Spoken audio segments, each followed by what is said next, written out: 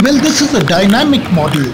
As you crank the handle, you can see a carpenter working hard moving his saw to cut a piece of wood. To make this dynamic model, you will need a plastic bottle, a wire crank, coffee stirrer, refills and pins. First cut a 250 ml bottle in half and make holes in the lid and the bottle as shown. Then bend a piece of wire to make a crank. The crank converts rotary motion into linear motion.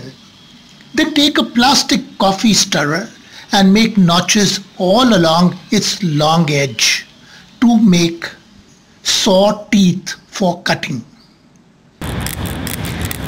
As you rub a stick on the notches, they make a sawing noise. Make holes on both ends of the saw. Place one hole in the saw of the saw in the crank. Now insert the crank and the saw inside the bottle holes. The other end of the saw must come out of the bottle lid. On rotating the crank, the saw will move up and down.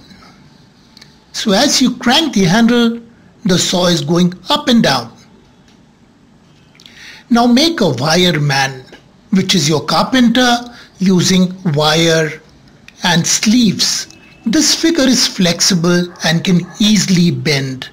Notice two small loops on the feet and holes in the hand sleeves. Stand the carpenter by fixing its legs with pins on the bottle lid. Then attach the saw to the carpenter's hand with a pin with stoppers on both the ends of the pin. Now the model is ready to work.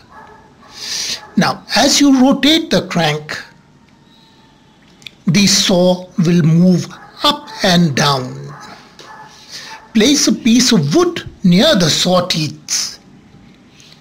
Now as you crank, it will appear that the hard-working carpenter is merrily sawing a piece of wood. It's really a dynamic working model made from odds and bits.